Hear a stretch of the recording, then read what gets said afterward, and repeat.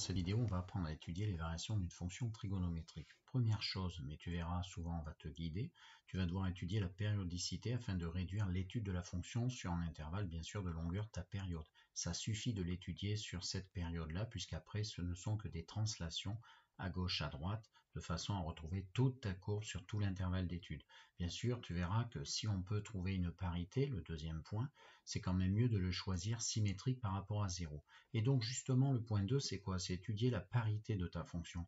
Parce que tu verras que si elle est paire ou impaire, on va pouvoir réduire l'intervalle, si tu veux, de moitié. En fait, en se mettant autour de 0, si on a une fonction paire ou impaire, on a des éléments de symétrie et du coup, il suffit de l'étudier par exemple à droite de 0. Voilà. Et le schéma classique pour finir l'étude, tu devras dériver ta fonction, étudier son signe, etc. comme d'habitude. Alors la fonction que je te propose, c'est celle-ci, définie sur R. Et première question, montrer que f est 2pi périodique. Alors déjà, avant de, de poursuivre, je te rappelle que j'ai fait des vidéos sur démontrer qu'une fonction est périodique, démontrer qu'une fonction est paire, impaire, étudier la parité donc. Donc n'hésite pas également à regarder comment résoudre des équations et équations pour ce qui est de l'étude du signe de ta dérivée. Toutes ces vidéos précédentes permettent justement de faire ce global. D'accord? Alors c'est parti, je vais reprendre donc un petit peu pas à pas toutes ces vidéos. Donc la périodicité, je te rappelle et je t'affiche la correction. Eh bien en fait, x appartient à ton ensemble de définitions, est-ce que x plus la période y appartient? Ben, C'est le cas puisque c'est sur R. Je calcule l'image de x plus t, donc ici x plus 2pi, je remplace partout les x par des x plus 2pi, d'accord? Et en fait, ben, qu'est-ce qui se passe? Sinus et cosinus étant 2pi périodique, sinus x plus 2pi c'est un sinus x, cos x plus 2pi c'est un cos x, et donc on retrouve notre fonction qui est donc 2pi périodique. Voilà. Deuxième question, étudier la parité de f. Eh bien, c'est parti. On fait comme la vidéo sur ce thème. Et donc, eh bien, il nous faut d'abord vérifier que si x appartient à l'ensemble de définitions, alors son opposé aussi, c'est le cas puisque df égale r.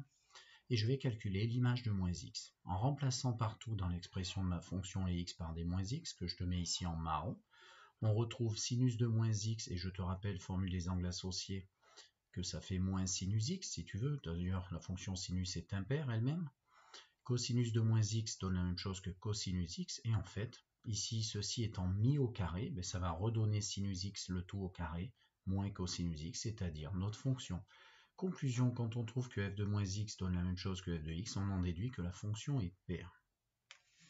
Troisième question. Justifier pourquoi il suffit d'étudier alors la fonction sur l'intervalle 0π et non pas sur R. Eh bien, voilà tous les arguments qu'on a vus avant. Et donc, c'est ce que je vais t'expliquer. Comme f, elle est 2pi périodique. Ça veut dire qu'il suffit de l'étudier sur un intervalle de longueur de pi. Comme par exemple de moins pi à plus pi. Tu remarqueras, je me suis mis de façon symétrique autour de 0. J'aurais pu prendre un intervalle de 0 à 2pi. Mais moi, je veux exploiter le fait qu'elle est aussi paire. Et donc, c'est ce que je fais. Comme elle est aussi paire, eh bien, je peux restreindre à seulement la partie de droite à droite de 0, de 0 à pi. J'aurais pu prendre aussi à gauche hein, de moins pi à 0. Mais voilà, j'ai répondu à la question. On aura toute l'information suffisante sur 0 pi et du coup ça va nous faire moins de travail pour tout ce qui est étude du signe et de ta fonction. C'est justement l'objet de ta question 4. Et donc, on doit étudier la variation de f. Eh bien, on va la dériver. Et puis, on fait comme d'habitude. On va compléter le tableau ensemble, c'est la différence. Donc, je t'affiche toute la démarche. F, elle est dérivable sur u pardon, sur i.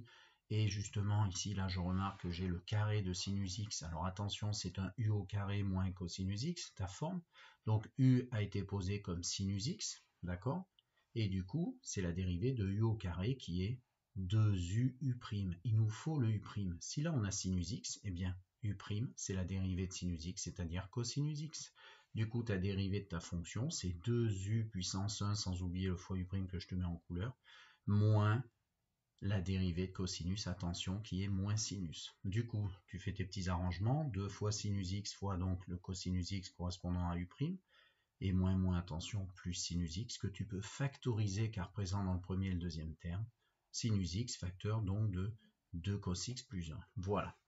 Ici, je t'ai fait deux petits schémas, c'est résoudre des équations et équations avec la trigonométrie, de façon à trouver le signe de chacun de ces facteurs pour trouver le signe de ma dérivée. Alors, on va voir que ici, j'ai déjà commencé à remplir le tableau qui va sortir sur l'intervalle d'étude 0pi, et on va le faire ensemble. Et donc, premier facteur, on va regarder le signe de sinus x. Alors, sinus x, tu regardes là, l'action se passe dans, ce demi-cercle de 0 à pi, c'est l'intervalle d'étude. Et en fait, les sinus se lisent en ordonnée. Et du coup, on voit bien que tous les sinus vont toujours donner quelque chose au-dessus de 0, sauf pour 0 et pour pi qui vont annuler. Et du coup, j'ai le signe déjà de sinusique. Je mets là où ça s'annule. Tu vas voir, je vais m'adapter. Là, je mets deux petits plus. Voilà.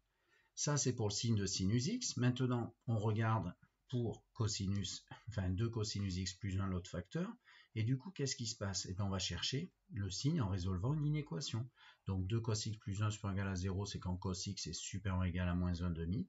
Je fais le petit cercle trigonométrie en repérant moins 1 demi en cosinus, attention sur l'axe des abscisses et les valeurs remarquables des angles qui sont là. Donc ici c'est 2pi sur 3 et là moins 2pi sur 3, mais il n'est pas dans l'intervalle d'étude 0 à pi. Et du coup, je regarde qu'est-ce qui va me donner un cosinus au-dessus de moins 1 demi pour me donner ce facteur positif. Donc cosinus supérieur à moins 1 demi, c'est là. Donc je t'ai dessiné en bleu, comme on a vu avant dans d'autres vidéos, où c'est que ça donne les angles qui permettent de trouver un cosinus un 2 cosinus x, pardon, un cosinus x supérieur ou égal à moins 1 demi. Et donc ça me permet de faire la deuxième ligne, enfin la troisième de ce tableau. Donc je mets un 0 là où s'annule ben justement l'expression. Je mets mon petit signe du coup correspondant. Là ce que je viens de faire le, le plus en premier c'était tout l'intervalle 0 justement 0 de 0 à 2pi sur 3 ce facteur est toujours plus.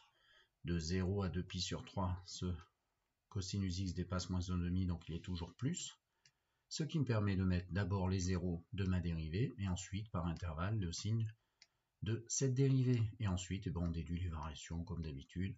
Je te laisse calculer les images particulières de ta fonction. Tu trouveras moins 1 ici en 0, plus 1 en pi, et un petit calcul un peu plus embêtant, 5 quarts en 2pi sur 3. Voilà.